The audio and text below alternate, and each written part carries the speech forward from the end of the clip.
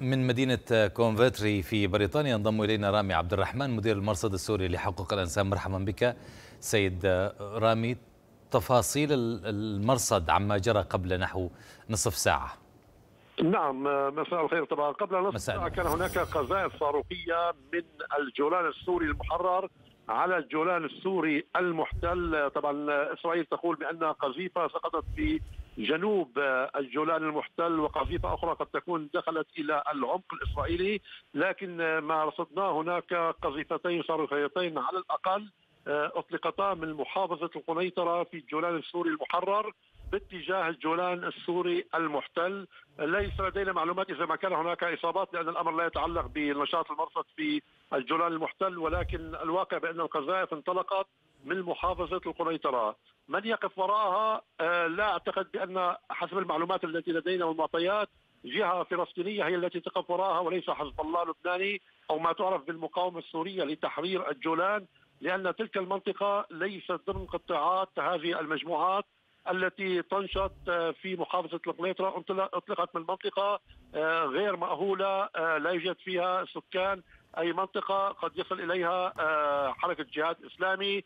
أي مجموعة فلسطينية من السهولة أن تصل إلى تلك المنطقة وتطلق القذائف الصاروخية باتجاه الجولان المحتل طيب يعني مرة أخرى أستاذ رامي هذه المنطقة يعني من الممكن الوصول إليها والتحرك بسهولة ومساله الرضا عن مسألة إطلاق هذه الصواريخ من الجانب السوري.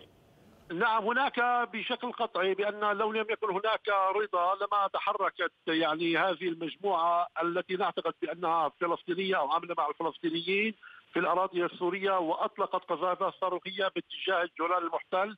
لأننا نعلم بأن هناك حواجز أمنية كثيرة وحتى هناك حواجز أمنية لحزب الله ما يعرف بالمقاومة السورية لتحرير الجولان للمخابرات العسكرية أجهزة المخابرات جميعها لديها حواجز في تلك المنطقة طيب إذا مرصود لديكم في المرصد أستاذ رامي أي تحركات في في الجبهة السورية الآن؟